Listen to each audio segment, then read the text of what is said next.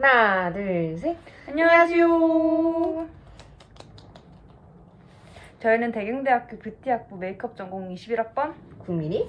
임예진입니다. 오늘 저희가 여러분들이 궁금해할 만한 정보들을 가득 담았으니 기대해 주세요. 그럼 뭐 학교로 가볼까요? 어, 나 눈 너무 예쁘다.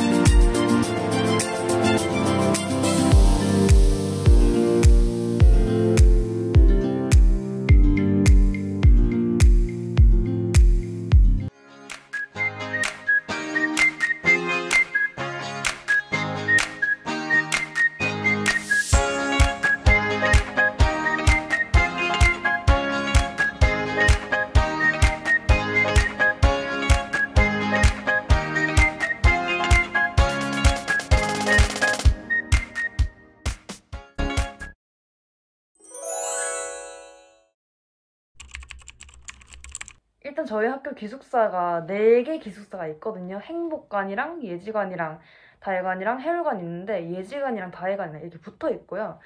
이제 해울관은 해울관 다해관은 남자 기숙사고 예지관은 여자 기숙사예요. 이제 행복관은 남녀 공용 기숙사고요. 왜 계속 이렇게 하는 거였지? 일단에 예지관은 1인실, 2인실, 4인실까지 쓸 수가 있고요. 다해관이랑 해울관은 2인실, 4인실까지 쓸 수 있는데 다해관만 별도로 1인실이 쓸 수 있더라고요. 어, 그렇게 알고 있어요 저는. 제가 남자 기숙사를 안 들어가 봐가지고 모르겠지만은 그리고 행복 기숙사는 2인실을 사용할 수 있는 걸 알고 있고요. 행복 행복 기숙사 같은 경우에는 신축 기숙사라 가지고 이제 출입 같은 것도 이제 카드키로 이제 보안이 좀 철저하게 유지가 되어 있는 편입니다.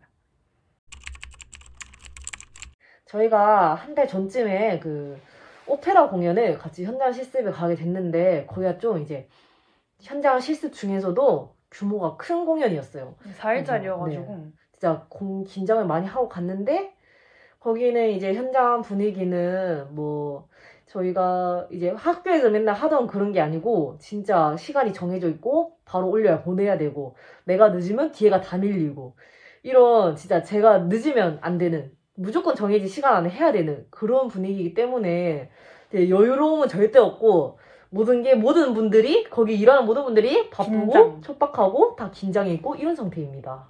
이제 국가고시 메이크업이 3과제? 3과제가 50분이 주어지잖아요. 저희가 현장 가서 해야 되는 메이크업은 1, 한 명당 20분이 걸려야 돼요. 맞아요. 20분이 초과가 되면은 5분씩 밀려. 그러면은 스테이지에 나갈 수 있는 시간이 촉박해져가지고 그분들도 따로 준비해야 되는 시간들이 늦어져가지고 충고를 살짝 먹을 수가 있단 말이에요. 그래서 이제 항상 손이 빨라야 되고 그렇지만 그만큼 세심해야 되고 항상 긴장의 끈을 늦추면 안 되는 그런 현장입니다. 그러니까요. 제가 좀 손이 느린 편이에요. 마음이 좀 여유로워가지고 메이크업을 하면 계속 좀 늦게 끝나 나만. 난좀 마지막에 정리하는 스타일. 그래서 불 항상 강의실 불 끄고 나가는 스타일. 항상 네. 예자리만 불이 켜져 있어요. 제가 좀 이런 스타일인데 진짜 그래서 걱정을 많이 했어요. 내가 이 상태로 가서 너무 밀리지 않을까? 내가 이거 잘 할 수 있을까 했는데 그래서 4일차 공연이라 했잖아요. 그래서 첫째 날쯤에는 진짜 밀렸어요. 그 제가 생각한 대로 한 한 명당 진짜 5분씩 계속 밀렸어요. 그래서 막 계속 메이크업 하고 있는데 그 다음 차례 분은 저 멀리서 계속 제 쪽을 기웃대면서 이렇게 나 봤어. 4시간인데 4시간인데 왜 아직까지 메이크업 하고 계시지? 막 이러면서 막 기웃거리고 계시지. 어, 국민이 저는 아직 어디- 메이크업을 계속 이렇게 하고 있지. 어, 너무 막 당황스럽고 막 긴장해가지고 막 땀은 나지. 긴장 안 맞고 손은 또 떨리지. 그러니까 다 잘 안 되는 거예요. 근데 이제 4일이라서 하루가 지날수록 좀 더 익숙해지고 손에 익고 하니까 4일차 됐을 때는 이제 한 분당 5분, 10분 정도 남는 시간이 이제 이렇게 가거든요. 그래서 아마 다 여러분들 나중에 현장 실습을 가면 진짜 긴장 많이 하실 거예요. 진짜 내 잘못이 이제 단체의 피해가 될 수 있는 거기 때문에 내 개인의 잘못이 그래서 진짜 많이 떨릴 텐데 그거 이제 딛고 일어서야 저희가 발전하는 거 아니겠습니까? 그리고 현장을 음. 한번 갔다 오면은 그만큼 실력도 많이 늘 거예요. 맞아요. 그래가지고 이제 교수님한테 나중에 오면은 쫄아보세요. 교수님 음. 저도 현장 가고 싶어요. 보내주세요. 저도 보내주세요. 맨날 왜 제만 보내줘요. 저 보내주세요. 잘할게요. 제가 항상 그 말을 들었어요. 이제 왜 너는 왜 너만 맨날 현장 가? 하면서 맨날 이제 나도 가고 싶단 말이야 하면서 애들한테 맨날 그랬거든요. 그래서 근데 현장 가는 것도 진짜 종류가 다양해요.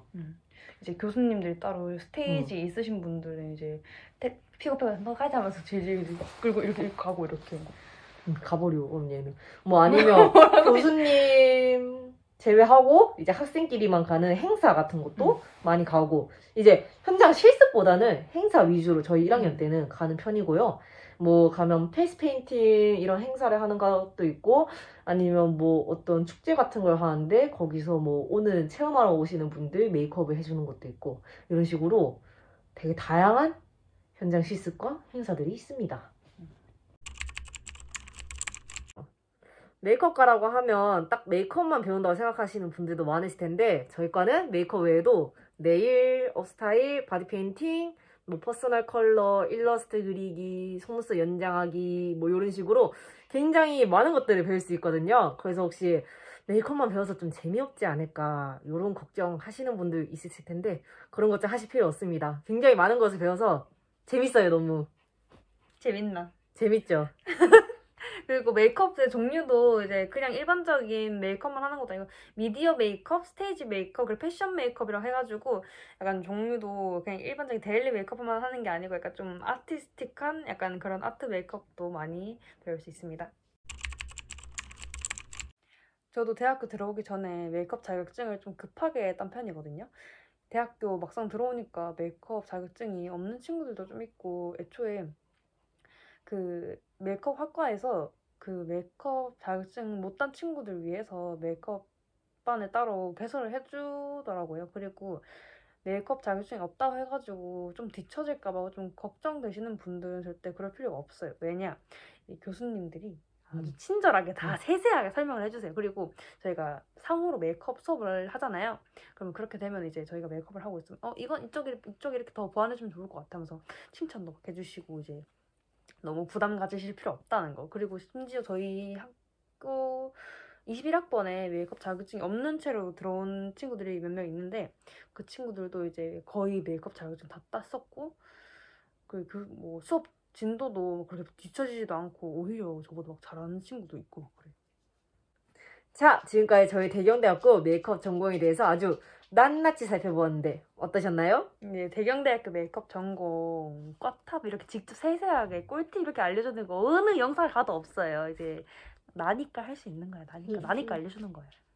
저희 영상이 알차고 재밌으셨다면 좋아요, 구독하기, 알림 설정까지 부탁드려요. 그럼 지금까지 대경대학교 메이크업 전공 국민이 임예진이었습니다. 감사합니다. 안녕.